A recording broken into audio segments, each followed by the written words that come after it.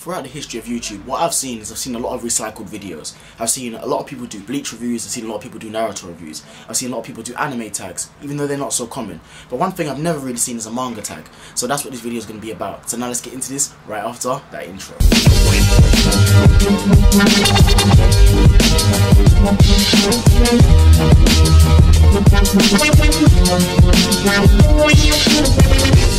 Guys, for the money subscribers who don't know me, my name is Shimigami X, aka Captain Captain X. I'm leader of Squad X. I'm here today to give you a somewhat different video. Instead of giving you an anime tag, which you've seen before, I'm in turn going to be giving you a manga tag.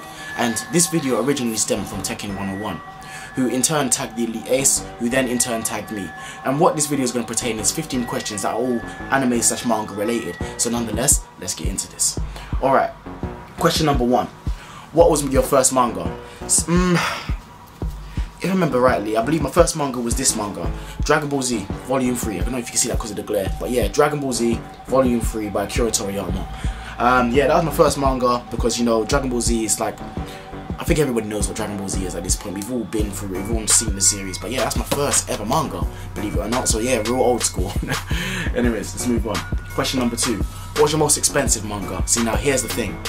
To this day, I've always been an anime person over manga just simply because I like to see animation, I enjoy and I appreciate animation because it's what I enjoy to do so therefore I appreciate it more. So I've only recently started getting into even or even reading manga in the last like maybe three or four years. So that that's that. So as in terms of what my most expensive manga is, I actually have never bought a manga series. But both of these two mangas I own, which are the only two that I own, were actually given to me.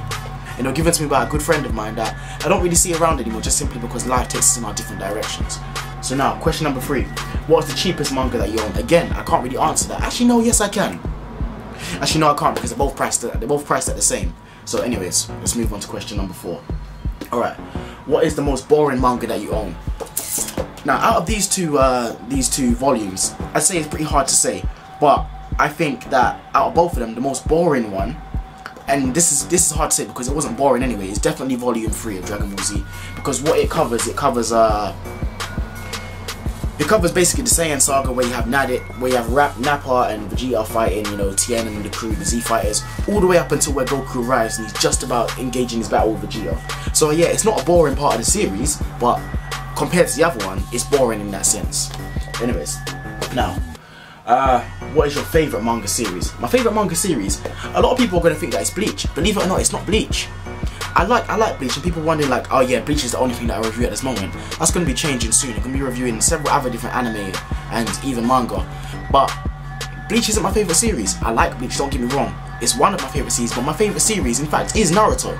Naruto's been my favourite series for a long, long time, and it's not because I can relate to or anything like that. I just, I like the concept of ninjas. I just like, I just like Naruto. You know, everybody's got their own preference, but don't get me wrong, I'm still down with that Bleach. Obviously, you can tell that I'm dedicated and loyal to the series, and I do my hardest and I do my best when I put out my reviews, as you can obviously tell. Anyways, question number five.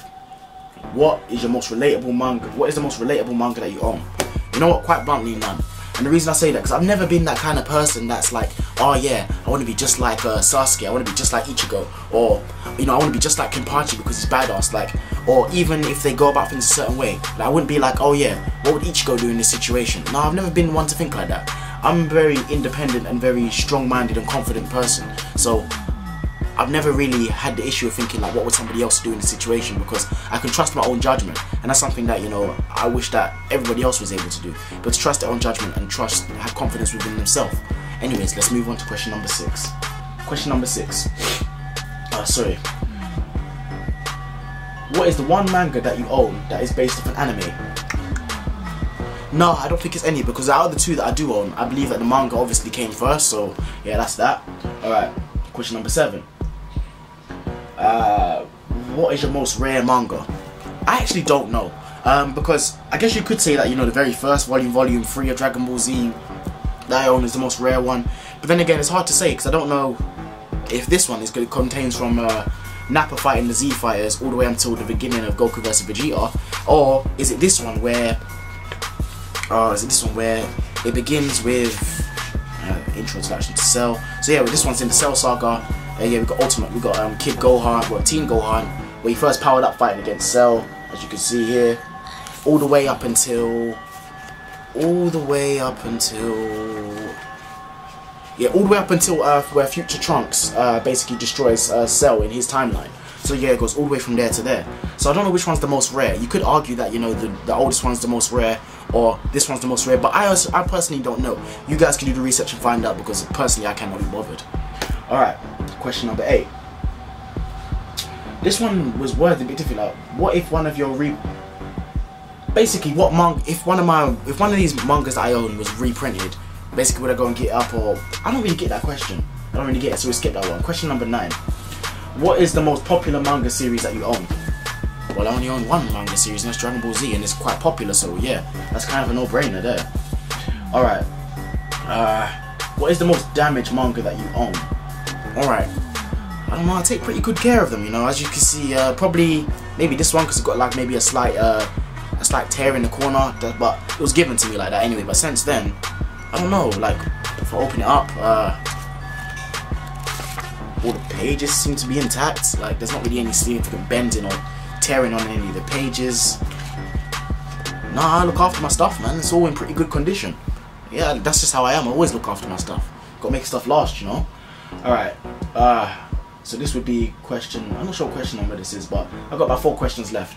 Which manga has the most amazing art? Art wise, definitely volume 19. Volume 19 of Dragon Ball Z, definitely the most amazing. Because if you just look at the artwork here, you can just see like Akira Toriyama, he's done an amazing job of capturing the motion of Gohan um, when he's blocking and dodging Cell's attacks. Like art wise, art wise it's incredible. Even the part where you see even Goku about to do the instant transmission and teleport away and take Cell away. Like where's that page again? Yeah, look, look at the artwork on that page. It's damn good. Yeah, man. Think this one, this volume, definitely has the most amazing art. Maybe because it just had the most going on. Anyways, what is the oldest published manga that you own? So this will be question number 13. Alright, so what is the oldest published manga that you own? The oldest published manga that I own, quite obviously, is volume 3 of Dragon Ball Z. Moving on. What is the newest manga that you own? The newest one that I own, well, it's not even new anymore, but it's volume 19, because there's only two that I own. Um, what is the most recent manga that you purchased? Can't answer that question because obviously I haven't personally bought any manga.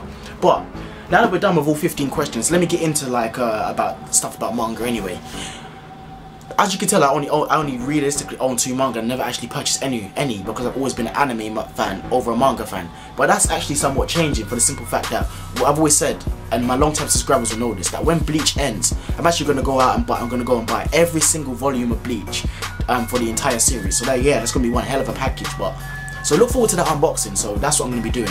I'm to be doing that for Bleach, and I'm to be doing that for Attack on Titan. Obviously, when the when that series ends, which could be several years, but you know, I'll do it when it ends because I've never been really one to you know. Uh, start collecting the series as it's going on simply because you know if they decide to like discontinue it or something I like to have complete sets so if it does go all the way through to being finished I'm like okay I can go get the complete set but it will jar me like it's kind of probably like an OCD thing of mine that it will jar me that if I start buying something and I can't complete it because they decided that you know we're not going to push this out anymore for whatever reason. So that's my reasons why I don't really buy anime and manga. Why I don't really buy manga until it's completed. So that's what I'm going to be doing with Bleach I'm going to be doing that with Attack on Titan. And I'm going to do the same with Naruto as well because obviously as you know Naruto is my favourite series. Anyways guys, I hope you've enjoyed this uh, quick manga tag. Um, who am I going to tag next? Who don't know has actually got manga and will actually do this? Ah, there we go. What potential L? I tag you. Yeah so look forward to all potential Elza response video to this. Anyways guys hope you guys have enjoyed this video. It's your boy Shimigami X aka your captain captain X leader of squad X. Anyways I'm signing out and as always my people take care. Peace. Keep it 99 plus 1 that's 100